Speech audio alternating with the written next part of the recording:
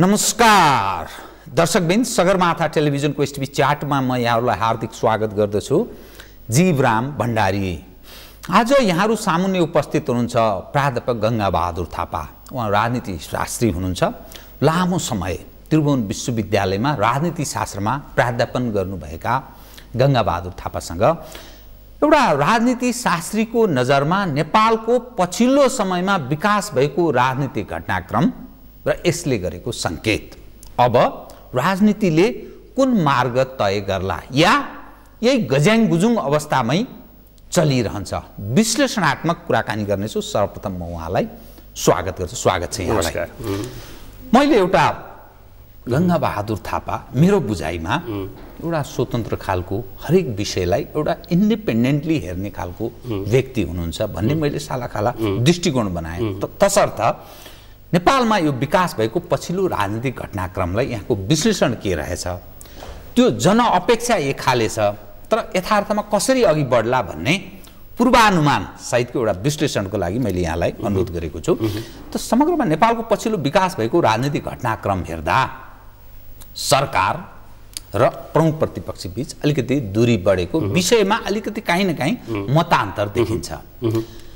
काङ्ग्रेस माओवादी केन्द्र मधेस केन्द्रित पक्ष एक ठाउँमा उनीहरूको एक खाले पोलराइज त्यसरी ध्रुवीकृत भएर राजनीति चल्या छ।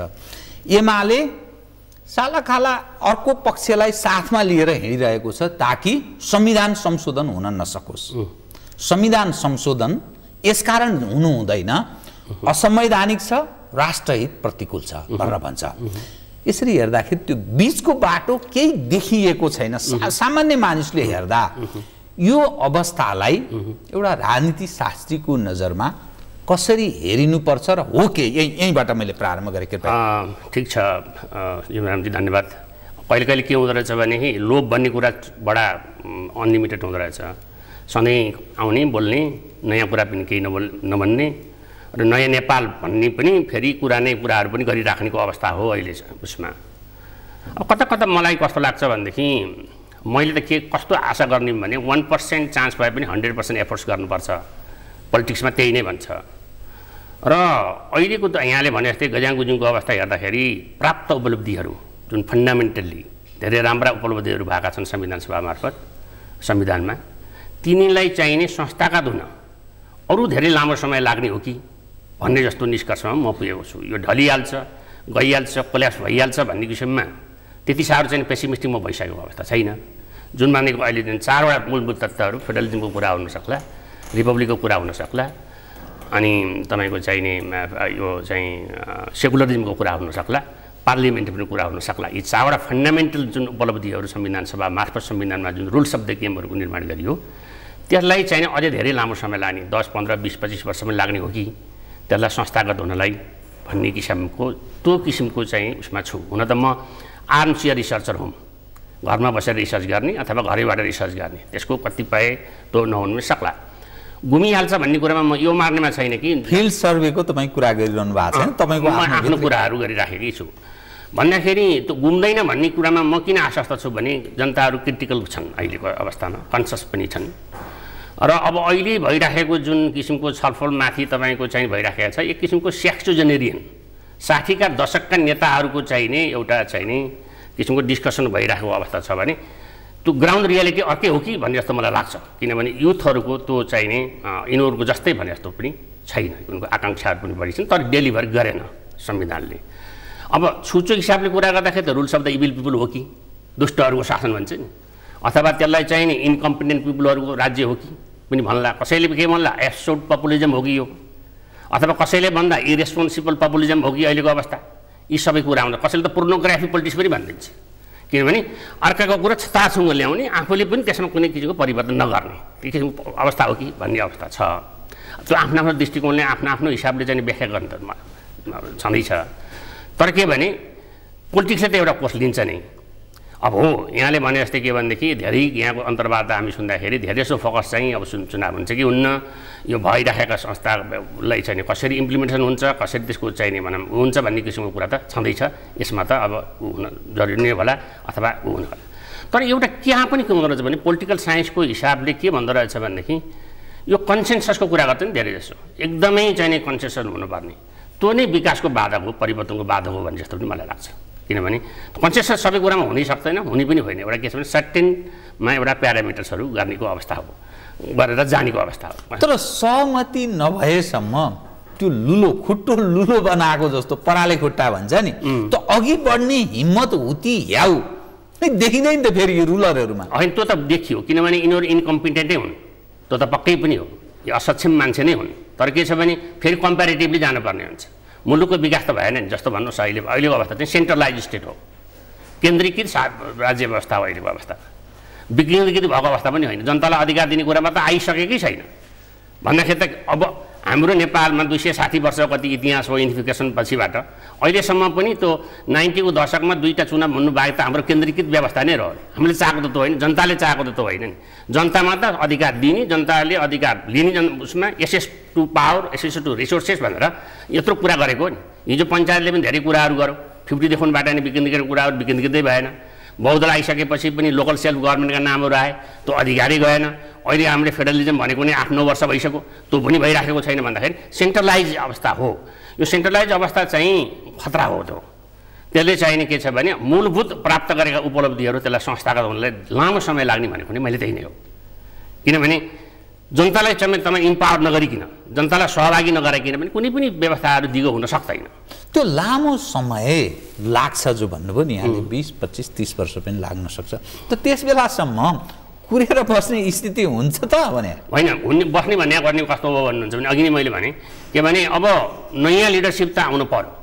अहिलेकाहरूको अब गाला झुन्डिसक्यो मुखमा चाउरी परिसक्यो अब यहाँ सहमति भएर यिनले आफ्नो अडान लिएर मात्रै काम छैन किनभने अगाडि त बढ्छ जनताहरू अगाडि त आउँछ नि मान्छेहरू राम्रै मान्छेहरू पनि छन्। तर त्यसले मौकाको नपाएको अवस्था हो। पहिला मौका पाउनलाई त अब के हुन्छ भनेदेखि हुनुपर्थ्यो चुनावै हुनुपर्थ्यो। त्यो लोकल लेभलबाटै चुनाव हुनुपर्थ्यो। अब यसै चुनावमा जानेमा चाहिँ मान्छेहरूको चाहिँ छ। मैले यहाँलाई पनि करिब करिब एक वर्ष अगाडि कुरा गर्दाखेरि त यसको विकल्पै छैन। सबैको विकल्प चुनावै हो। जसका पनि आफ्ना डिमान्ड्सहरू हुन सक्लान्। आफ्ना किसिमका लागू गर्ने हुन्छ त्यो आफैमा नराम्रो कुरा भएन। आफ्ना अडानहरू पनि होलान् तर त्यसको चाहिँ निर्कुल गर्ने त्यसलाई चाहिँ ब बल दिने अथवा त्यसलाई समर्थन गर्ने जनता नै हो नि। जनताको समर्थन बिना त यिनीहरूले जति रिसोल्युसन पास गरे पनि जति सहमति भए पनि कुरा छैन नि। तर के भनेदेखि मान्छेले चाहेको अहिले के हो भने मिटिङ बस्छ। किन मिटिङ बस्छ भन्नेमा मान्छेको चाहना छैन। त्यो मिटिङले के डेलिभर गर्छ भन्ने चाहना हो।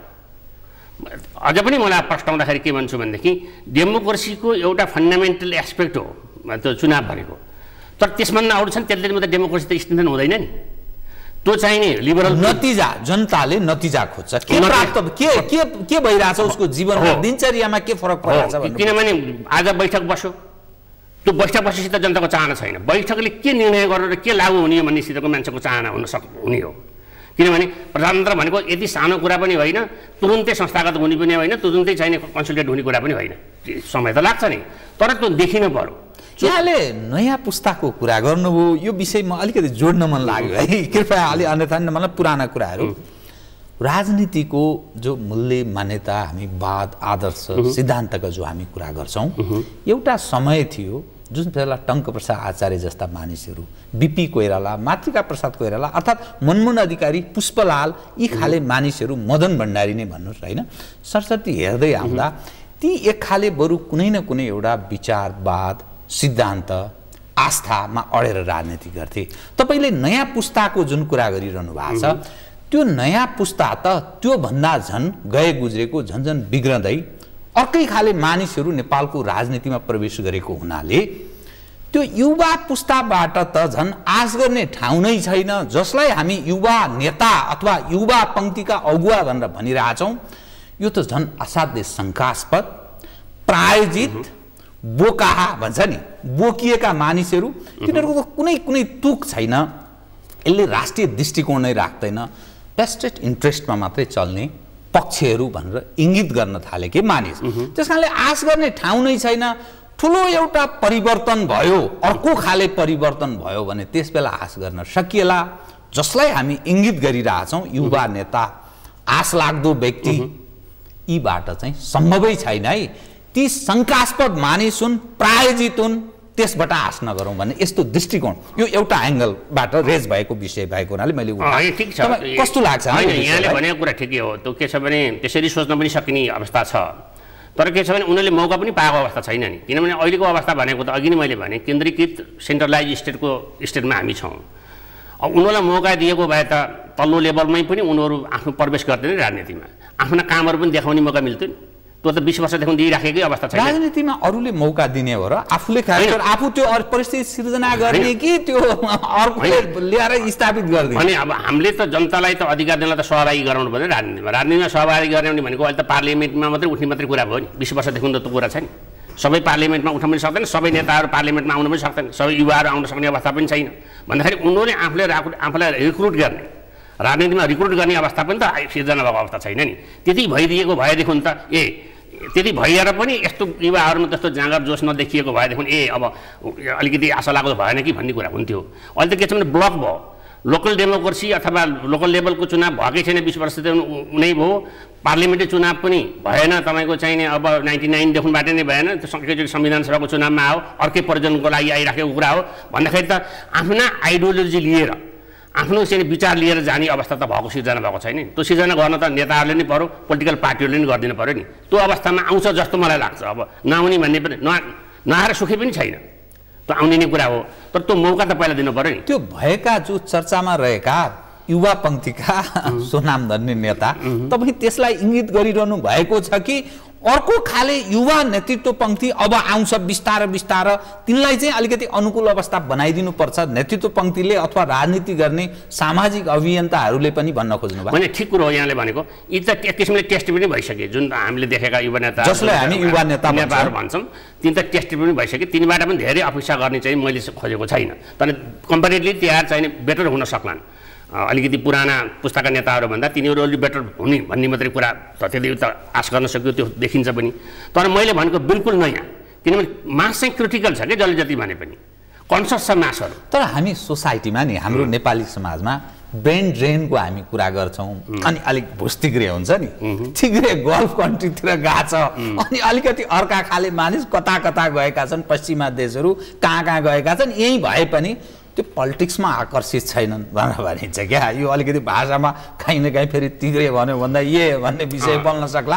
तर त्यसरी बोलिन्छ लवजमा प्रयोग गर्दा। वितृष्णा अब त्यो कसरी त्यो आउला राजनीतिमा प्रवेश गर्ला त्यसका लागि त्यो परिस्थिति अनुकूल बनाइदिने परिस्थिति सिर्जना गरिदिने कसले?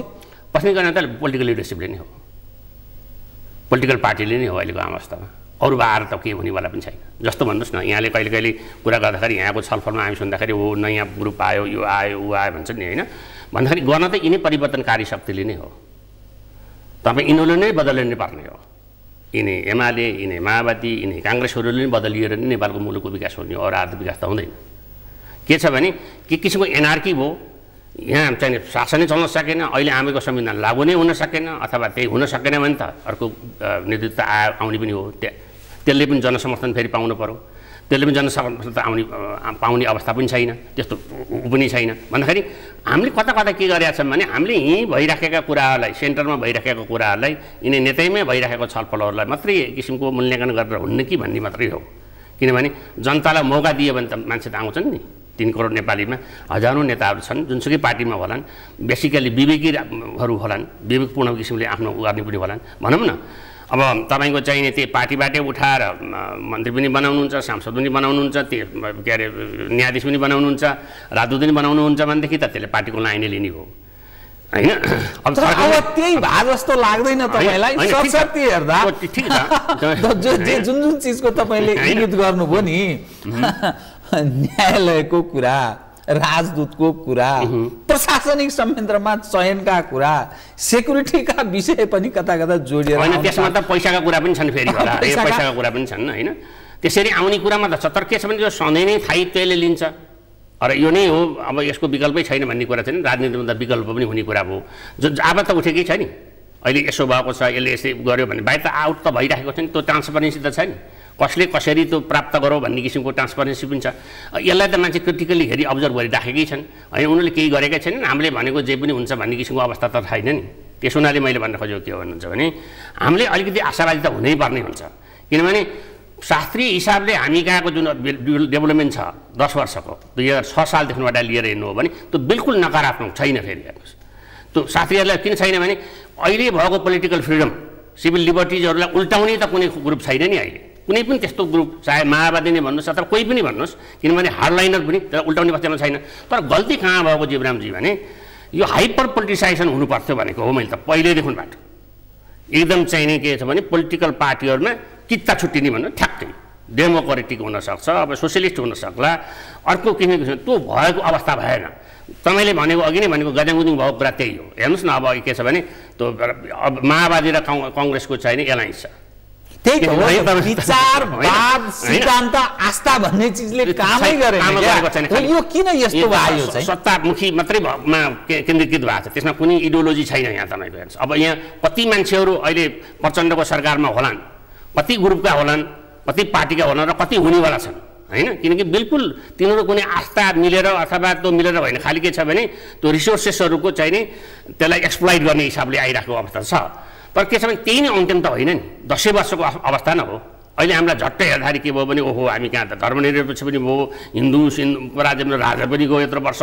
अब त्यसमा रिग्रेट गर्नुपर्ने कुरा छ जस्तो मलाई लाग्दैन। राज संस्थाले चाहिँ बेसिकली कुनै काम गरेकै होइन मलाई भन्नुहुन्छ भने। त्यसै त प्यारो भएर त्यसमा सधैँ जानुपर्ने अवस्थै छैन। केही राजाहरू यताउति एक्टिभ भए उनले केही देखाए।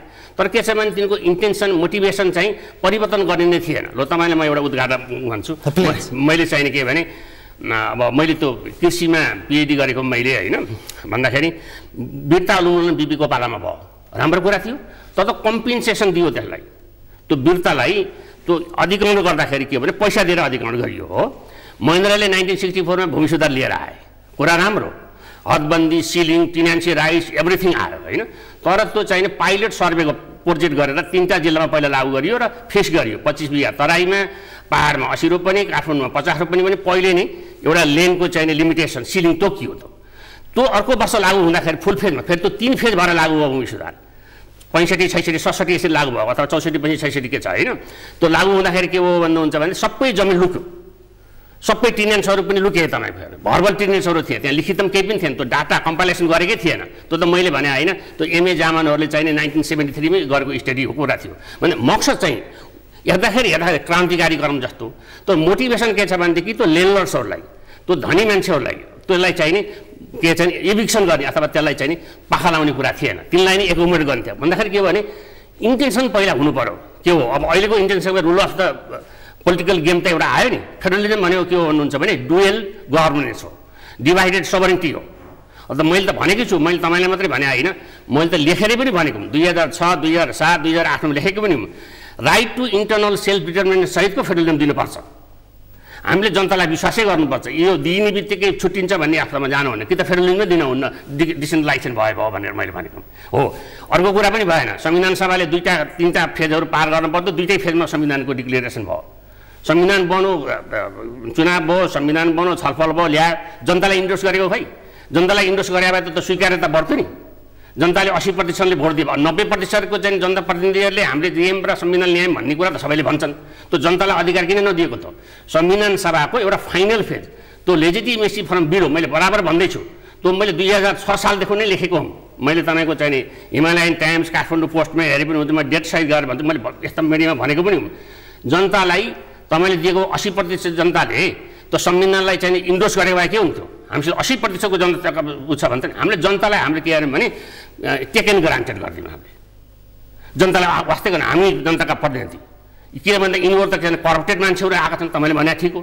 यी रेस्पोन्सिबल मान्छे आएका छन् यिनीहरू।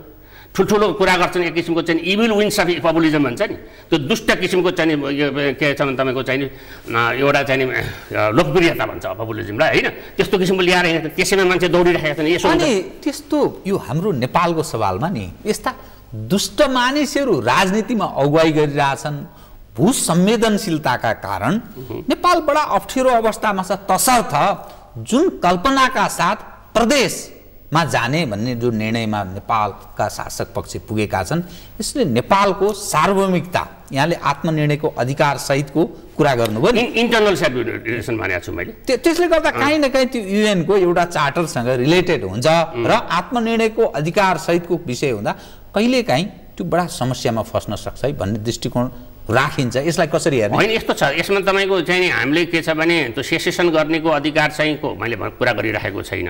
Right to internal self determination भनेको छु मैले। आफ्नो भित्र आफूले गर्नु जस्तो यसलाई भन्छ अर्को भाषामा एसाइमेट्रिकल सेट फेडरलिजम भन्छ होइन? भने आफ्नो एरियाको मैले यस्तो कानुन बनाएर यस्तो विकास गर्छु भन्नेको हदसम्मको चाहिँ त्यो चाहिँ पावर चाहिँ पोलिटिकल चाहिँ डिसनलाइजेसन हुनै पर्यो होइन? त्यो नभइकन काम छैन। त्यही भनेको कस्तो हो भन्नुहुन्छ भने हामीले भन्छौँ जस्तो पोलिटिकल साइन्सले डेमोक्रेसी कुरा गर्दाखेरि इलेक्सन एउटा कुरा पहिलो फेजको। त्यहाँपछि त्यो लिबरल छ कि छैन? त्यहाँपछि त्यो पार्टिसिपेटिभ छ कि छैन? त्यहाँपछि त्यो डेलिभरेटिभ छ कि छैन? त्यहाँपछि त्यो इग्लाइटेरियन छ कि छैन? इग्लाइटेरियन भनेको समानतावाद भन्छ नि। यी यी कम्पोनेन्ट सबै भयो भने मात्रै त्यो रियलमा डेमोक्रेसी हुन्छ। भन्ने कुरा छ अब इलेक्सन त मैले भने एउटा सानो आधार हो फन्डामेन्टल हो तर पहिलो आधार हो। जनतालाई जसरी पनि हामीले। अरू कुराहरू त चाहिँ तपाईँको चाहिँ नि क्रमशः अभ्यासको क्रममा जानिने कुरा हो। हाम्रो अब धेरै वर्षसम्म त हामीको चाहिँ नि निरङ्कुश शासन व्यवस्था एक किसिमको टोटालियन शासन व्यवस्थामा गएको अवस्था हो। आठै वर्षमा सम्पूर्ण कुरा प्राप्त नभए पनि त्यसले दिशाबोध गर्न सक्नु पर्थ्यो। त्यो राम्रो कुरा हो। हिजो रामचन्द्र के रामचरण महतले राम रामचरण यादवले गरेको गल्ती अहिले चाहिँ विद्या भण्डारीले गर्नु भएन। हिजो चाहिँ नि फलानाले अलकाले गल्ती गरे अहिले प्रधानमन्त्रीले गर्नु भएन हिजो ओलीले गल्ती गरेको छ भने अहिले प्रचण्डले गर्नु भएन। प्रचण्ड छोडिसकेपछि अर्को आउँछ भने यसले प्रचण्डले गर्दै अर्काले दोहोऱ्याउनु भएन भन्दाखेरि लेसन लर्न हुँदै जानुपर्ने हो। तर कता कता के छ भने उही कुरामा कुरा नयाँ कुरा गर्ने। न्यु बटल ओल्ड वाइन भने जस्तै होइन? कुरा चाहिँ पुरानै कुरा गरिरहने। अब अहिले पनि आएको छ नि। लो राष्ट्र संस्था हिन्दू धर्म यसलाई छ हाम्रो यस्तो मोटो हो भन्ने फेरि एउटा एकीकृत शक्ति पनि आएको छ। तपाईँले त्यो कुरा मलाई सोध्नुहुन्छ भनेर मैले भन्दैछु। के छ भने त्यसमा पनि नयाँ कुराहरू के आउन छ र? हो ठिक छ कमल थापाजीहरू एउटा निरङ्कुश शासन व्यवस्थामा राजशाहीमा ट्रेन पनि भए त्यसमा डेभलप पनि भए त्यो- त्यसको जुठो कुरो पनि खाएको होलान् त्यसलाई चाहिँ सघायो होलान् तिनलाई त्यो ट्रेनिङ भएको हुनाले उनलाई त्यो ल्याउनु पर्ने सँगै छ। तर के छ भने त्यो त दाह संसार भइसकेको एउटा संस्था हो नि। त्यसको चाहिँ अस्ति लिएर हिँड्नु पनि कारणै छैन अहिले। मैले भने त्यसले केही डेलिभर गर्दैन। कस्तो राजा ल्याउने भनेर भन्दाखेरि मलाई कहिले कहिले हेर्छु एकदमै कल्चरल नसुन्ने पनि नदेख्ने पनि नबोल्ने पनि राज संस्था ल्याउने भने जस्तो कुरा। त्यो किन ल्याउनु पर्यो फेरि? नसुन्ने पनि नबोल्ने पनि नदेख्ने भने ल्याउने पनि कुरा बाँकी। अर्को जनताको छोरो त राष्ट्रपति भएकै छ नि त्यो परिवर्तन हामीले किन स्वीकार नगर्ने?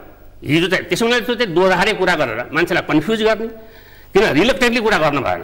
सबभन्दा ठुलो डिफिकल्टी अहिले के हो भन्नुहुन्छ भने ओनरसिपै लिन मानेन मानिराखेको अवस्था छैन अहिले आएको संविधानको पनि। ओनरसिप त काङ्ग्रेसले पनि लिनु पऱ्यो एमाले पनि लिनु पऱ्यो माओवादीले पनि लिनु पऱ्यो नि। त्यो चाहिँ नि रापरपाले पनि लिनु पऱ्यो नि किन यसैमा बसेर संविधानमा पा पास गरेर भोट हालिसकेपछि। यो रिलेक्टेन्टली हामीले गरेको भन्न मिलेन कसैले पनि। कसैले पनि म हाम्रो चाहना थिएन तर हामीले लिएँ भन्न मिलेन। यसलाई ओनरसिप नलिएको पो अवस्थाको हो। यदि यी सबै पार्टीहरू जसले हिजो संविधानसम्म नाइन्टी पर्सेन्टले भोट हाले भन्छन् तिनले ओनरसिप मात्रै लिदियाबादी समस्या आउँदैन नि। ठिक छ संविधान सभामा संविधानमा जनअनुकूल संशोधन त गर्नुपर्छ तर कसले संशोधन गर्ने? अब यिनै संविधान बनाउने मान्छेले संशोधन गर्ने? त्यो त नयाँ जनमत आउनु पऱ्यो नि। त्यस हुनाले यिनीहरूले गर्न हुन्न भनेको त्यो हिजो जुन संशोधन भयो एउटा संविधान आइसक्यो त्यो पनि गलत हो। त्यो चाहिँ के छ भने कानुनी रूपले पनि गलत हो त नभए कानुनी रूपले नहोला सक्छ इमोरल हो त अनइथिकल हो त त्यो पोलिटिकल होइन त्यो भनेर मैले भनिराखेकै छु त किनभने त्यो हुन हुने त नयाँ आउनु पऱ्यो। अब नयाँ आउँदाखेरि यसलाई त तुरुन्तै चेन्ज गर्ने अवस्था छ नि पिटिआईले त तपाईँको धेरै कुरा चेन्ज गर्न सकिन्छ नि। हो त्यसो हुनाले हामी त्यसरी जान पर्ने हो। यो अड्काउने संविधान सभा संशोधन भन्ने घरि फेरलिङको कुरा गर्ने रेखाङ्कन सीमाङ्कन नामाङ्कन यसमा किन अल्झिरहने त्यसो हुनाले चाहिँ त्यो ओनरसिप चाहिने नलिएको अवस्था हो तपाईँले पक्का भने तपाईँले भने ठिक हो। ओनरसिप त लिन सक्नु पऱ्यो नि। मैले गरेको म यसमा अडिक छु भन्न सक्नु पऱ्यो होइन? अब क्रमशः हाम्रो यी मागहरू पनि छन्। यसलाई पनि हामी अगाडि बढाउँदै जान्छौँ भन्ने कुरा। ठिकै हो पोलिटिकल पार्टीले जहाँ पनि गर्ने कुरा भयो। तर आफूको कमिटेड भएछ त कमिटेड गर्नुपर्छ। त्यो कमिटेड गरिसकेपछि मलाई लाग्दैन काङ्ग्रेस एमालेमा माओवादीहरूमा परिवर्तनै नचाहने यिनीहरूलाई नै मान्छेमा यिनै नै नेताहरूलाई नै सधैँ बोकेर हिँड्ने होइन? यिनीहरू पनि अब एक किसिमको चाहिँ अघि नै मैले भने अब साठीको दशकमा सबै छन् अर्को चुनाव हुँदाखेरि सत्तरी पर्छन् होइन?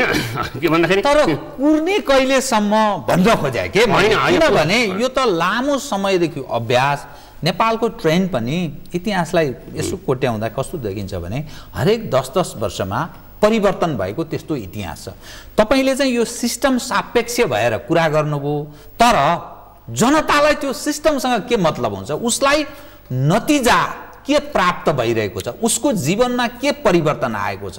तपाईँ बेन ट्रेनको हामी कुरा गर्छौँ पढे लेखेका मानिस युरोप अमेरिकातिर पठाइदिने अनि अलिकति काम गर्न सक्ने गल्फ कन्ट्रीमा गएर गुजारा गर्नुपर्ने लगभग चालिस लाखभन्दा बढी नेपाली झन् विदेशमा काम गर्छन्। एउटा नेपालीको सालाखाला यसो हेर्दा चारजना पालिन्छन्। चारजना चार तिनमा चार चोको सोह्र। यो यो हिसाबले गर्दा यत्रो यत्रो करोडौँ मानिस लाखौँ मानिस त्यो विदेश आश्रित भएर पालिनु परेको छ। अझ मानिस कुरा गर्दा त साठी लाख भन्छ भन्दा पनि तिन करोड पनि नेपाली छैनन्। दुई करोड चालिस लाख लगभग पराश्रित भएर बाँच्नु परेको छ। अनि यो सिस्टमलाई प्राणभन्दा प्यारो भनेर जनताले स्वीकार्नुपर्ने के बाध्यता ठिक छ यहाँले भने ठिक हो। के छ भने सिस्टमप्रति सित नेता अथवा त्यो प्रति जनताको धेरै चासो हुन्न त अमेरिकामा पनि हुन्न जापानमा पनि हुन्न बेलायत हुन्छ उसले खोरेको यहाँले अघि भने जस्तै परिणाम नै खोनिदियो। त्यसले के डेलिभर गर्छ गर्दैन। डेलिभर गरिराख्यो भने मान्छे सन्तुष्टै हुन्छन्। सिङ्गापुरमा कैयौँ वर्षसम्म त्यो लिक्वान युगोमा सन्तुष्ट सन्तुष्ट भए। किनभने उसले इकोनोमिक डेलिभर एउटा गरिराखेको थियो। त्यहाँ पोलि सिभिल लिबर्टी थिएन। साउथ कोरियामा त्यस्तै भइराखेको थियो। डेभलपमेन्टल स्टेट भनेर उसले चाहिँ इकोनोमिक डेभलपमेन्टमा फोकस गर्यो। एउटा कुरा त हामीले पाइराखेका छौँ नि। पोलिटिक्समा नपाए पनि फ्रिडम त छैन तर इकोनोमिक त हामीलाई छ। चित्त बुझाउने बाटो यहाँले भने जस्तै छैन। जापानमा पनि त्यस्तै भएको जस्तो भन्नु भन्नुहुन्छ भने नाइन्टिन फोर्टी फाइभदेखि झन्डै झन्डै पच पचपन्न वर्ष चाहिँ लिबरल डेमोक्रेटिक पार्टी रुल गरेको त्यहाँ डेमोक्रेसी छ कि छैन यो पार्सिल्ली डेमोक्रेटिक कन्ट्री हो कि भन्ने अवस्था पनि थियो। तर उसले यस्तरी विकास गरिदियो। हुन त जापान पहिला पनि विकसित थियो। यस्तरी गरिदियो कि त्यो मान्छेले अरूको अपोजिसन पार्टी नै खोजेनन्। यहाँलाई पहिला पनि मैले निवेदन गरेको यो दुई हजार पन्ध्र सालमा जुन चुनाव भयो काङ्ग्रेसले दुईतिर ल्याएको थियो। राम्रो काम गरे अब अहिलेसम्म नै काङ्ग्रेस रहन विकास पनि हुन सक्थ्यो दुर्भाग्य त्यो भएन। जति हाम्रा राम्रा नेता भने पनि इथिकल पोलिटिकल मोरल भने पनि तिनीहरूले पनि शासन गर्न नसकेको अवस्थै रह्यो होइन? त्यो त दुर्भाग्य त छँदैछ मैले भनिराखेको होइन? त्यसैले जनताले त यहाँले भने जस्तै परिणामै खोनिदियो। उपलब्धि के हो? उनले के एचिभ गर्छ? उनको डिमान्ड्सहरू एड्रेस हुन्छ कि हुँदैनन्? भन्नेमा उसको फोकस रहन्छ। यो कमन पिपुलको सबैको हो। कहिले कहिले के हुन्छ भन्नुहुन्छ भने भर्खरै अमेरिकाको चुनावमा पनि तपाईँको एक किसिमको उसले नारा दियो। है हाम्रो बोलाउनु पर्छ अमेरिका बोलाउनु पर्छ अमेरिका निजमको कुरा। आयो। अनि अब चाहिँ उसले एउटा एउटा ग्रुपलाई लियो उसले। हो हाम्रो देश हो यो। हामीले नै बनाउनु पर्छ भनौँ त्यहाँका व्हाइट होलान् के होलान् आदिवासी होलान् त्यसको मन जित्यो उसले। होइन व्हाइट पिपलहरू खास गरेर होइन? अब यो बाहिरका मान्छे आएर मात्रै हाम्रो विकास हुन्न भन्नु तर उसले एउटा कुरा केही पनि बिर्सेको अवस्था हो भने बाहिरकै मान्छेले आएर अमेरिका बनाएको भन्ने कुरा पनि बिर्सिराखेको अवस्था हो। तर एउटा किसिमको इलुजन त दियो उसले। यी गट त नाउ हि द प्रेसिडेन्ट उसले पनि अब भोलि बिहान त्यति जति कुरा गरे पनि यी भइराखेका मान्छे जाऊ हिँड भन्ने अवस्था नरहला। कति होला कति डिबेटहरू आउलान्। अब अहिले नै भन्छौँ उनीहरूको पनि रुलिङ अवस्था अलिकति अप्ठ्यारो परिसकेको छ तर त्यो उनीहरूले सेटलै गरन् किनभने विकसित मुलुक हो एजुकेटेड मुलुक हो। हामी कहाँ त्यो छैन र म त के भन्छु भन्नुहुन्छ भने अब कहिले कहिले के भन्छन् यो त भएन अस्थिरता भयो फलानु भयो अब अहिलेको सिस्टम हामीले जुन चुनावको पद्धति राखेका छौँ त्यो पनि राम्रो कुरा किन? सबै पार्टीहरूको पावर सेयरिङ त हुने भयो नि ठिक छ? अस्थायी होला। होइन पावर सेयरिङ हुँदा हुँदा यो त राज्यमाथि द्वन्द निरन्तर चल्ने भयो नि त। जनतालाई त्यसको लाभ नहुने नेतृत्व पङ्क्ति चाहिँ बडा जो राजनीतिमा रमाइरहेको छ नि। अघि यहाँले कार्यपालिका व्यवस्थापिका न्यायपालिका नि काहीँ न काहीँ जोड्नुभयो। सबैमा राजनीतिले क्याप्चर गरेपछि अनि त्यो जनता निरीह हुन्छ अन्तत्वगत्वा त्यो विद्रोह गर्छ नि? कति दिन तपाईँ चाहिँ त्यो परिस्थिति यसलाई यसै पनि हेरौँ। के छ भने अब there are some good people every भएर अब उनीहरूले भोलि बिहान ती न्यायाधीश पनि होलान्। सर्वोच्चका तिनीहरूलाई परिवर्तन गर्न तिनले भन्ने पनि आशा राख्नुपर्छ। र अहिले भइराखेकाले जुन किसिमको हिसाबले पार्टीबाटै गइराखे पनि तिनले पनि त्यो पार्टीलाई छोडेर मुलुकको हिस्मै काम गर्छन् होला पनि हामीले सोध्नुपर्छ। किनभने आश गर्ने। आश गर्नु पऱ्यो किनभने म एउटा पार्टीमा लोयल छु मैले कुनै मैले पाएँ। अब के छ भने म पार्टीमै लागेको नाताले मैले केही पनि पाउनुहुन्न भन्ने किसिमको कुरा पनि। अलिकति त्यो अन्याय होला तर पार्टीमै लाएर मैले जुन मेरो काम हो त्यो कामलाई मैले पार्टीकै चाहिँ उसको लागि काम गर्ने भयो भनेदेखि मेरो त गलत नियतै भयो। भन्दाखेरि त्यो आउला त्यस्तो पनि नगर्ने मान्छेले होइन? किनभने अब त मान्छेले पोइन्ट आउट गर्ने भयो नि। किन भन्नुहुन्छ भने हामी त पोस्ट ट्रुथ सोसाइटीमा छौँ। पोस्ट ट्रुथ भनेको अहिले तपाईँले जे समय व्यवहार गर्नुहुन्छ त्यो बाहिर जनताले उत्तिखेर यहाँ निक्लने बित्तिकै क्रिटिसिजम गर्छ। त्यो अवस्थामा त हामी छौँ नि। पोस्ट ट्रुथको अवस्थामा हामी छौँ। मिडियामा होला अथवा तपाईँ जुनसुकै हिसाबले आए पनि त्यो चाहिँ बाहिर आइरहेको छ। यो मान्छे राम्रो हो नराम्रो हो? मैले यहाँ इन्टरभ्यू दिँदाखेरि यो मान्छे यस्तो थियो उस्तो थियो भने क्रिटिकल भइ नै जसले मलाई चिन्दछन् होला। भन्दाखेरि त्यो त अवस्था आएको छ नि। त्यो त डेमोक्रेसीकै उपलब्धि हो नि। अब ब्याक जाने भन्ने कुरा त त्यति कुरा भएन। अब यसैलाई हामीले चाहिँ के हो भने हाम्रो तपाईँको काम पनि त्यही नै हो। यसलाई राइट डिरेक्सनमा लैजाऊ है भन्ने कुरा हो नि। अब हिजो हिजो हामीले दुःख पायो जनताले। सिभिल लिबर्टिज पोलिटिकल राइट्सहरू पाइसके पनि दस वर्षको जनयुद्ध भयो। एक किसिमको टेरोरिस्ट मुभमेन्टै भयो त्यसलाई त मैले त्यही नै भन्छु। भन्दाखेरि त्यत्रो मान्छेहरू मरे उपलब्धि भएको छैन। कैयौँहरू चाहिँ घरबार बिनु भएको अवस्था छ। त्यहाँ त्यो डेलिभरै भएको छैन। तर के छ भने एक किसिमले यो हाम्रो चाहिने जसरी पनि के हो भनेदेखि त्यो चाहिने तल पावर लगाएर जुन छ हामीले खोजेको जनतालाई निर्वाचनमा सहभागी बनाएर उनको डेभलपमेन्ट एक्टिभमा सहभागी बनाएर ल्याउन सक्यो भए हुन त्योमा त कमी नै रह्यो। अब अझै पनि के छ भने दसैँ वर्षमा केही बिग्री राखेर गइराखेको अवस्था। छैन मैले मैले हामीले मैले विचारे अनुसार तुरुन्तै कोल्याप्स हुने अवस्थामा छैन। तर के छ भने फन्डामेन्टली फेरि के हो भने चुनावकै कुरा हो। चुनाव माथिदेखि तलसम्म हुनु पऱ्यो अब चुनाव गर्नु भयो भने त ठिकै होला। भएन भने के त? किनभने धेरै समय बाँकी छ होइन अब नभए पनि अब एउटा त सबैले भनिराख्ने कुरो तपाईँको पनि यहाँ मिडियामा आउँदाखेरि तपाईँले पनि सोद्धाखेरि होइन होला अब थप्छन् होला यताउति गर्छन् होला फेरि चलाउँछन्। नेपाल यस्तै हो चलिरहन्छ भन्ने किसिमको आफ्नो सोचाइ पनि छ। त्यो गलत कुरा हो। त्यो के अरे थपेर फेरि गरेर बिना चाहिने मेन्डेट होइन। मेन्डेट त मेरा विचार संविधान आइसकेपछि संविधान सभाको मेन्डेटै सिद्धिएको नेपालको सन्दर्भमा म अलिकति जोड्न चाहेँ है। कस्तो गजब देखिन्छ हेर्नुहोस् त। दुई हजार तिन चार विक्रम सम्मतको म कुरा गरिरहेको छु। तिन पनि भनिन्छ चार पनि भनिन्छ काङ्ग्रेस स्थापना भयो है। निरन्तर काङ्ग्रेस त्यस बेलादेखि अहिलेसम्म राज गरिरहेछ। त्यो पञ्चायत तिस वर्षलाई तपाईँ छोडिदिनुहुन्छ भने त्यसपछिको अवस्था। कम्युनिस्टहरू दुई हजार छ सालमा स्थापना हो कम्युनिस्टहरू पार्टी स्थापित भएको कुरा गर्छन्। अहिले कम्युनिस्टहरूको यो देशमा वर्चस्व छ बाहुल्यता छ। कम्युनिस्टहरू सबभन्दा ठुला तागतको रूपमा हँसिया रहन चाहे एमाले माओवादी जनमोर्चा जे जे नाम दिनुहोस् त्यस्तो देखिन्छ। तर जनताको यो अभिगत छ फेरि पनि हामी परिवर्तनको कुरा गर्छौँ। परिवर्तन ल्यायो। माओवादीको नेतृत्वमा सारा परिवर्तन भयो जसलाई उपलब्धि हामी भनिरहेछौँ। यही काङ्ग्रेस होइन। हिजो कुन अवस्थामा थियो यही एमाले होइन। हिजो के भन्थ्यो? जुन जुन परिवर्तन आयो हामीले परिवर्तन गरे भनेर भन्छन्। अनि राजपाटमा पनि अड्डा जमाएर बसेको छ। ब्रेन ड्रेन र सारा मानिस पलायन हुने दास दासीको जीवन व्यतीत गरेको अवस्था छ अनि ठुल्ठुलो एडभोकेसी गर्छन्। यो के भए बताइदिनुहोस् त? एउटा राजनीति शास्त्रीको नजरमा म तपाईँलाई यो सिस्टमसँग जोडेर होइन कि एउटा राजनीति शास्त्रीको नजरमा यो कुन राजनीतिक धर्मभित्र पर्छ अनि यत्रो ठुल्ठुलो कुरा जो बग्छन् नि नेताहरू अनि जनतामा त्यो छ्यान विचार गर्ने सामर्थ्य क्यापासिटीको जो हामी कुरा गर्छौँ नि छ र अनि हामी यो डेमोक्रेसी लोकतन्त्र गणतन्त्र के के तन्त्र भन्छौँ त्यो छ।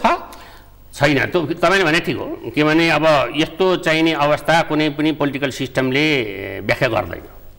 यो यही किसिमको व्यवस्था हो भन्दैन। किनभने निरङ्कुश शासन व्यवस्था भए पनि एक किसिमको शासन व्यवस्था हुन्थ्यो। टोटलिटेरियन भए पनि एउटा इडियोलोजिकलमा बस्दो जस्तो कम्युनिस्ट सिस्टमहरू भए। अब प्योर डेमोक्रेसी भएको भए त यस्तो हुँदै हुँदैन त भन्दाखेरि त ठ्याक्कै पोलिटिकल साइन्सले यो यस्तै किसिमको नेचरको व्यवस्था हो अहिले भन्ने अवस्था त रहेन। किनभने यो चाहिँ गजाङ गुजुङकै अवस्था हो। र धेरै कुराहरूको चाहिँ अब अस्पष्ट र लिडरसिप पनि अस्पष्ट के गर्न खोजेको के त्यसको पर्पोज के हो त्यसको मिनिङ के हो र के गरेको र कसरी परिवर्तन गर्ने हो भन्ने कुरा त नरहेकै अवस्था हो तर पनि मूलभूत कुरामा नेपालले एउटा एउटा उता गरेको छ नि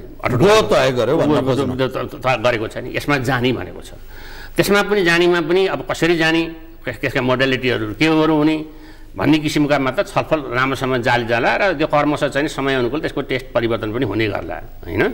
अब अहिले हामीले जनतालाई अधिकार दिँदाखेरि त्यो छुट्टिन्छन् कि भन्ने? अब चुनाव गऱ्यो भने मेरो शक्ति जान्छ कि भन्ने? किनभने चुनाव गरिसकेपछि त भोलि बिहान अहिले फेडरलिजम भएर चुनाव गरिसकेपछि त स्टेट त कमजोर हुन्छ नि सेन्ट्रल स्टेट त। यिनको अहिले भएको चाहिने पावर जान्छ। त्यो फियर पनि होला यिनीहरूलाई। किनभने भोलि बिहान त म एउटा एकता नेता हुन सक्दिनँ भनेर पनि त्यस्तो किसिमको खराब मनसाले नै यो नगरिराखेको भन्ने अवस्था पनि होला। तर त्यो त धेरै दिनसम्म नचल्ला नि। किनभने ठिक छ चौहत्तरको मा माघमा भएन। वैशाखमा त होला। कुनै हिसाबले त हुनु पऱ्यो नि। किनभने अब नसम्पिकिन अवस्था त छैन। किनभने अब सबभन्दा बढी लोकल इलेक्सनको चुनाव त माओवादीलाई चाहिन पर्ने हो। अन्ततोगत चुनावमा जान्छ भन्ने तपाईँ जानै पर्ने त्यो माओवादीले गएन भने चाहिँ? अब त्यसको किनभने हिजो मात्रै मधेसी मोर्चा र प्रधानमन्त्री बिच कुरा भएको छ। काङ्ग्रेससँग बारम्बार भएको छ। केपी ओलीजीसँग त्यति भएको छैन भन्ने बुझिन्छ। मधेसी मोर्चा जबसम्म संविधान संशोधन त्यो प्रक्रियामा गएर मात्रै हुँदैन। संविधान संशोधनै हुनुपर्छ पास नै हुनुपर्छ। जबसम्म हुँदैन तबसम्म चुनावको कल्पना नगरे हुन्छ हामी युद्ध घोषणा गर्छौँ। मधेसी मोर्चाले त्यो भन्छ के? मधेस केन्द्रित पक्षले। जसलाई मुठीभर भन्दै थिए नि हिजोका दिनमा काङ्ग्रेस कम्युनिस्टका मानिसहरू। अहिले संविधान संशोधन गर्छौँ है हामी भन्न प्रारिमा राखेको जसलाई आठ पर्सेन्ट आठ पर्सेन्ट पनि छैन बयानब्बे पर्सेन्टले संविधान जारी गरे भनिरहेको थियो नि त दाबी गरेका थिए नि त। अब तपाईँ संविधान संशोधन गर्नका लागि दुई तिहाई बहुमत चाहिन्छ संविधान त। एमाले तयार छैन।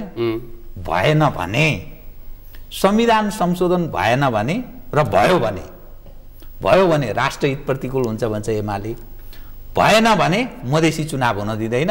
नहुँदा के हुन्छ त? हामी मिलिजुली खाउँ त भन्छ काङ्ग्रेस र माओवादी। ल हेर्नुहोस् त यो। अब यस्तो छ हेर्नु संविधान संशोधन अब जनतालाई त्यो संविधान माने मर्कै परेको छ जुनसुकै ग्रुपहरू मधेसीहरू जसलाई परे पनि परेको छ भने त्यहाँ संविधान त संशोधन हुनु पर्यो हुनुपर्छ। होइन? किनभने त्यो एउटा चाहिँ त्यो रिजिड डकुमेन्ट त भएन होइन? तर प्रमुखवर्ती पक्ष चाहिँ त्यो। असंवैधानिक र। राष्ट्रहित प्रतिकूल भनिरहेछ जुन विषयलाई सम्बोधन गर्ने प्रयत्न हुँदैछ भनेर। होइन। त्यो विषयमा त म आफू त क्लियर छु। यो संविधान सभाले संविधान सम्बोधन गर्नुहुन्न भन्नेमा छु। चुनावमा जाऊ चुनावमा जानु गर्नुपर्छ। गर्नुपर्छ। जस्तो पनि परिवर्तन गर्न सक्नुपर्छ। किनभने जनतालाई नै हो पोलिटिकल सिस्टम चाहिएको। यसले गर्नुहुन्न भन्ने पक्षमा छु त्यसमा त म आफू क्लियर छु। नि संविधान चुनावमा जानु पर्ने किनभने यसैले फेरि गर्ने भनेको त के भने बिना मेन्डेटको जान सक्ला त यो। सरकार। त्यो त्यो जुन पक्षलाई यिनीहरूको कमिटमेन्ट छ नि। आन्तरिक या बाह्य जहाँ जहाँ जोड्नुहोस् बाह्य होस् अथवा आन्तरिक होस् संविधान संशोधन गरिदिन्छु है म भनेर भनेको छ। भने अब सत्ता कुरा केही हो किनभने सत्तामा बसिरहने। र एउटा चाहिने मैले अघि नै भने नि तपाईँको चाहिने इरेस्पोन्सिबल पपुलिजम अनउत्तरदायी चाहिने लोकप्रियतामा यिनीहरू गइरहेको अवस्था हो। अब यो हिसाबले चाहिने के हदसम्म एमाले ठिक हो। किनभने यो भएन है अब नयाँ मेन्डेट र जाम नयाँ गरौँ। उसले पनि गर्नै हुन्न त भनिराखेको अवस्था छैन नि। नयाँ नयाँ भर्सन ल्याउँ ल्याउन त नयाँ पऱ्यो नि। किन संविधान सभाले एउटा संविधान बनायो त्यो हदसम्म ठिकै हो। किनभने र त्यो अघि नै भनिहालेँ त संविधानको रेड इन्डोर्समेन्ट जनतामा भएको भए भने पनि अर्को थियो। त्यो पाटो छोडे त्यो त हामीले लेखेर भनेर पनि कसैले सुन्नेवाला भएन होइन? तर हामीले त भन्नै पऱ्यो नि सधैँ किसिमको भनिराख्ने अवस्था हो होइन? भन्दाखेरि त संविधान त संशोधन हुनुपर्छ। अनि अरू अरू कुराहरू पनि होलान्। किनभने त्यो गर्ने त जनप्रतिनिधिले नै हो। अब के हुन्छ भने मूलभूत इस्युहरू आउँदाखेरि त्यसको चाहिने रेफरेन्डम प्लेबेस्टाइड धेरै किसिमका नामावली भएका चाहिने हाम्रो पोलिटिकल साइन्सका अप्सनहरू पनि छन्। ती जाने कुरा पनि छँदैछ। तर अहिले भनेको के हो भन्नुहुन्छ भने यसैमै अडिरहनुपर्छ भन्छु चाहिँ म चाहिँ। यिनै फन्डामेन्टली चार कुराहरूमा। फेडरलिजममा पनि कसैले रिलेक्टेन्टली चाहिँ गर्न हुन हुने गर्नुपर्छ। रिपब्लिकमा पनि त्यो हुने गर्नुपर्छ। सबै पार्टीको कमिटमेन्ट हुनुपर्छ। कुरा उठाउने उठाउने पार्टीले आफ्नो आफ्नो क्षेत्रमा उठाउँदाखेरि त्यसलाई नराम्रो त भन्ने कुरा भएन। तर उनले पनि किन चाहियो त भनेर भन्दाखेरि उनले पनि आफ्नो व्याख्या गर्लान्। हेरौँ कुन कुन व्याख्या सुनेपछि फेरि अर्को चाहिँ कमेन्ट गर्न पर्ला। तर त्यो त छुट्टै भयो डेमोक्रेसीमा। किन भन्नुहुन्छ भने धेरै ग्रुपहरू आउने पनि अवस्था छ। प्रोपोर्सनल रिप्रेजेन्टेसनले त्यो आफैमा नराम्रो कुरा पनि भएन। त्यो राम्रै कुरा छ त्यसलाई चाहिँ गरेर फर्स्ट पास्टमा गरेर अर्को जानुपर्छ अवस्था पनि छैन। किन हामीले त अप्नाइसक्यौँ र अभ्यास पनि भइसक्यो होइन? कुनै किसिमको थ्रेसोड लाग्ने अहिले कुरा भएको छ त्यो राम्रै कुरा हो नेसनल पार्टी भन्दाखेरि यी विकासहरू भइराख्दाखेरि त चुनाव पनि संशोधन पनि गर्ने। त्यही नारा लिएर जाने नि मधेसीहरूले पनि के जानुपर्छ भने आफ्ना जनतासित उनको विश्वास छ भने। उनले त भोलि बिहान त स्ट्रङ शक्ति भएर आउन सक्ने हिम्मत त राख्नु पऱ्यो नि। जनताबाट अनुमोदित भएर अनि संविधान संशोधन। यो भनेर आउनु पऱ्यो नि। न त जनतासित जान डराउने। अब यहाँ पाँच छजना छजना चाहिने त्यो तराईका नेताहरू बस्ने। अनि त्यहाँपछि हामीले यो नबनिकन हुन्न भनेर भने त्यसैमा सही गर्ने बित्तिकै त त्यो सही गरेरै बिग्रो। त्यो तपाईँले भने ठिक हो तर मानेनन् भने चाहिँ के गर्ने? मानेनन्? भने जसरी पनि चुनाव गर्नु पऱ्यो नि त त। तपाईँको अब छ नि के के अनि पहिले विगत हेर्नुहोस् त त्यो त थेग्ने स्थिति छैन त। हाम्रो जुन खालको प्रशासनिक संयन्त्र छ जुन खालको लिडरसिपको क्वालिटी छ एउटा फोन आउन छ त उलटका पुलट यताबाट उता कहाँ हुइकिन्छ हावाले उडाए चाहिँ गरेर नेता उड्छ।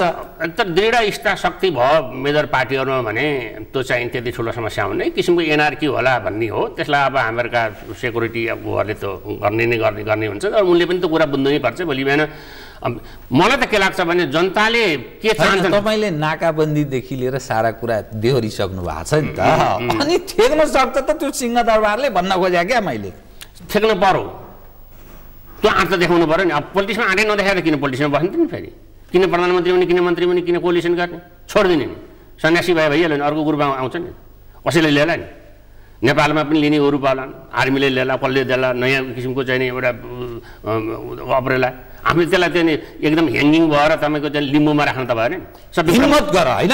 देखाऊ। अब तिमीहरूलाई धेरै समय बाँकी छैन भन्न खोज्नु भएको किनभने गर्नु पऱ्यो नि किनभने हिजो त हिजो संविधान आउन पनि गाह्रो भएन। रामराम यादवले नै चाहिने के छ भने धेरै बनाउँछ भोलि राख्नुपर्छ के राख्नुपर्छ भने गेन्ठिङ गर्नु भएन। त्यो आउने बेलामा पनि इन्डियाको को को मान्छे आयो नि अलि रोक्नुपर्छ भने संविधान त आयो नि भन्दाखेरि त्यो लेसन त एक वर्ष अगाडिकै छ नि। किन दुई तिनजना नेताहरूले यहाँलाई मैले पहिला पनि भने त्यही सुशील कोइराला त्यही चाहिँ प्रचण्ड त्यही ओली ओली हिम्मत देखाएर त आयो नि त संविधान। त्यस्तै गरेर संविधान आइसकेपछि त अब त जति त्यसको विमति राखे पनि त अवस्था भयो नि। अहिले त्यो नआए देखाएर के अवस्था हुन्थ्यो होला अझ भन्नुहोस् न। अब इन सर्टमा एकदम छोटकरीमा एउटा मात्रै विषयको जवाफ दिनुहोस् है त। जुन खालको हामी अभ्यास गरिरहेछौँ हाम्रो भारत निर्भरताको कुरा गर्छौँ क्या। आर्थिक राजनीतिक सामाजिक सबै खाले भारत निर्भरताको हामी कुरा गर्छौँ। अनि यो जो सङ्घीयता सङ्घात्मक जुन ढङ्गले हामी प्रदेशको सात प्रदेशको कल्पना गरिरहेछौँ हाम्रो साधन र स्रोत हामी भेट्छौँ। अनि त्यो थेगी खाने स्थितिमा हामी प्रवेश गर्छौँ। थेग्न सकिन्छ भन्ने दृष्टिकोण साधन स्रोत केही छैन बनाउने प्रदेशले इन प्रिन्सिपल विभिन्न देशहरू जुटेर एउटा समग्र देश बनेको देश चाहिँ त्यो संहितामा जानु ठिकै हो।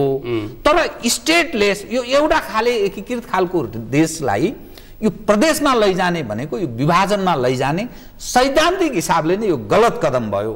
साधन स्रोत पनि छैन हाम्रो निर्भरता अरू देशसँग छ। त्यस बेलामा हाम्रै नियन्त्रणमा सबै चिज रहिरहन्छ भने के छ र?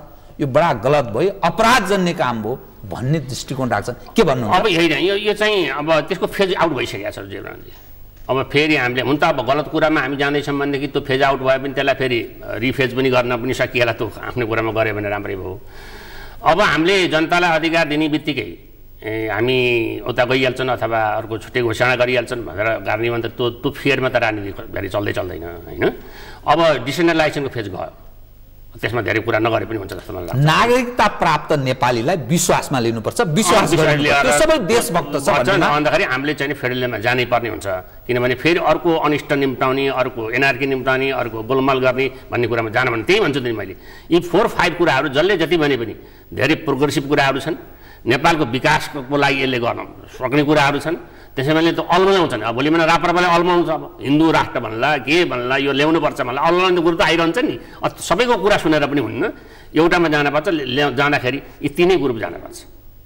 यही काङ्ग्रेस। किनभने अहिले त अब त्यो रिलक्टेन्टली मैले मानेको भन्नुहुन्न त्यो त्यसमा जानैपर्छ र जनतालाई अधिकार त दिनैपर्छ तपाईँको। अधिकार पनि त्यो डिसेन्ट्रलाइजेसन फर्ममा होइन कि त्यही फर्ममा दिनुपर्छ। अब मलाई यो नामाङ्कन सामाङ्कन यस्तो रेखाङ्कन त्यसमा चाहिँ मलाई त्यति इन्ट्रेस्ट छैन होइन। त्यो अनुहारको दिएपछि जनतालाई विश्वास गर्ने। हामी त त्यसो भन्दा democracy the rule of fools भन्यो नि। त्यो अमेरिकामा ट्रम्प आउँछ भने कसैले भनेको थियो जनताले दिए। तर भोट त उसकै थियो नि तपाईँको हिलारीकै तिस लाख बढी भोट रहेछ नि। तर सिस्टमले त्यसले दि जित्यो। किनभने इलेक्ट्रोल कलेजको भोट ल्याएपछि जित्ने सिस्टम भयो भनेर त तिस लाख भोट बढी ल्याएको छु भनेर पनि हिलारी गिल्न जितिन नि। भन्दाखेरि रुल शब्द गेम त मान्न पऱ्यो नि सबैले? जनता जनार्दन। होइन, जो सिस्टम- मतबाट जे जाहेर हुन्छ त्यो कुरालाई स्वीकारौँ। चुनावको विकल्प छैन। छैन सिस्टमलाई मान्न पऱ्यो क्या सिस्टमतिर विश्वास गर्न पऱ्यो मान्छे त हुन्छ नि। त्यसो हुनाले अमेरिकन भन्छ नि I don't like this person but I love my country अथवा कन्स्टिट्युसन भन्छ नि। त्यो त्यो त हुनु पऱ्यो सिस्टमलाई मानेर त्यहाँ जानु पऱ्यो जो आए पनि त्यसले राम्रै काम गर्छ भने होप गर्नु पऱ्यो अमेरिकनले पनि त्यही होप गरिराखेका छन्। भोलि भने फ्रान्समा त्यस्तै छ त्यही होप गरिराखेका भने बेलायतमा त्यस्तै होला। इन्डियामा मोदीलाई पनि त्यस्तै भन्थे नि हिजो। यो एकदम कम्युनल हो के भन्थे? जनताले भोट दिए अब्सोलुट मेजोरिटी चलिराखेको छ। भन्दाखेरि त हामीले उनीहरूलाई सङ्ख्यकै दृष्टिकोणले पहिला हेरेपछि त त्यसको त कहिले उपाय छैन। त्यसको कुनै उनी छैन नि तपाईँको चाहिँ सोल्युसनै छैन नि। प्रजातन्त्रको विकल्प छैन। जनता अनि मोर डेमोक्रेसी डेमोक्रेसीको विकल्प मोर डेमोक्रेसी अब हामीले चाहिने कुनै पनि किसिमको मोडल डिक्टेटरसिप अफ पोलिटिकल के भन्छ नि डेभलपमेन्ट डिक्टेटर फलानु फलानु यो बिर्सनुपर्छ यो हुँदै नहुने कुरामा हामी फेरि अल्मलाउनु हुन्न यसैमा जाने हो अब रेस्पोन्सिबल पोलिटिकल पार्टी हुनु पऱ्यो अब हामीले तपाईँले भनेको यसरी भ गर भन्ने हो कति सुन्छन् कति सुन्दैनन् तर भन्न त छोड्नु भएन नि हाम नसुन्ने भयो त बुद्धिजीवी पनि भएन त्यो पत्रकार पनि भएन त्यसले त तिनीहरूलाई उनी गर्न सक्यो मेरो विचारमा धेरै विवेकशील मान्छेहरू पनि पोलिटिकल पार्टीभित्र छन् जुनसुकै पार्टीभित्र तिनी फ्रन्टलाइनमा नभए पनि क्रमशः सुधार गर्दै जालान् भन्ने आशा। आशा छैन। अब त्यो त्यो होला। त्यो के छ भने अब क्रिमिनल एक्टिभिटीमा त प्रचण्डहरू पनि नजाला नि। अब ज्यानमार्ने त्यो नजाला नि। हामी त्यसरी हेर्नु पर्यो। आश गरौँ। कार्यक्रममा आइदिनु धन्यवाद है। यू थ्याङ्क यू आदरणीय दर्शकवृन्द उहाँ हुनुहुन्थ्यो प्राध्यापक गङ्गाबहादुर थापा राजनीति शास्त्री। नेपालको पछिल्लो स्थितिबारे विश्लेषणात्मक कुरा गर्दै म लगायत मेरो सम्पूर्ण युनिटलाई कायकुङबाट बिदा दिनुहोस्। तर सगरमाथा टेलिभिजन हेर्दै रहनुहोला। नमस्कार।